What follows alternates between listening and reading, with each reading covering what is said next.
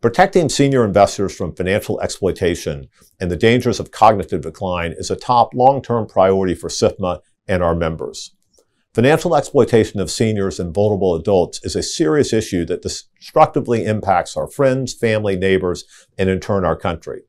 Seniors often lose their entire savings to bad actors, leaving them unable to maintain their independence or pay for their own health care, not to mention the added stress, significant health impacts, and often the loss of important relationships.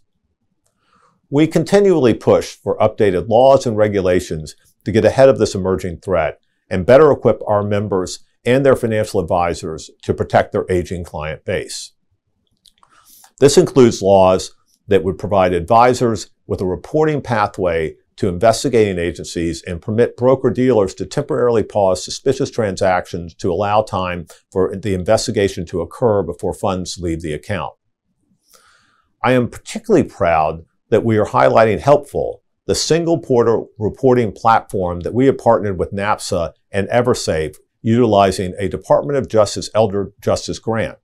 While this program is only rolled out in certain states right now, we are hopeful will help turn this program into a national means to address financial exploitation.